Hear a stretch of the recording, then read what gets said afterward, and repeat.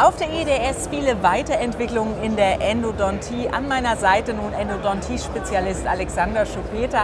Welche Entwicklungen in Sachen Endodontie sind denn auf der EDS besonders spannend? Ah, ganz besonders spannend sind natürlich unsere Produkte von Edge Endo, die wir jetzt äh, hier einmal vorgestellt haben und den Kunden halt mal direkt vor Ort einmal präsentieren können. Sie als Spezialist haben ja tagtäglich Kontakt mit endodontisch tätigen Zahnärzten. Wie werden denn die Produkte von Edge Endo wahrgenommen? Sehr positiv. Also wir haben viele Gespräche geführt im letzten Jahr mit, mit Endospezialisten, mit Zahnärzten. Na, es ist natürlich gar nicht so einfach, wie man sich das vorstellt. Der Zahnarzt macht bereits sehr gute Endos. Er ist sehr gut versorgt mit seinem Endosystem.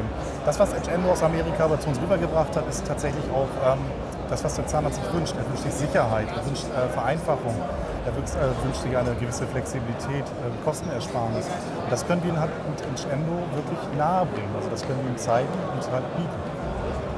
Nun sind ja die neuen Pfeilensysteme in Deutschland noch nicht erhältlich. Dürfen wir aber vom Henry Scheinbeck schon mal einen Blick drauf werfen? Ja, wir freuen uns besonders dieses Jahr äh, die Erweiterung von unserem Portfolio einmal darstellen zu können.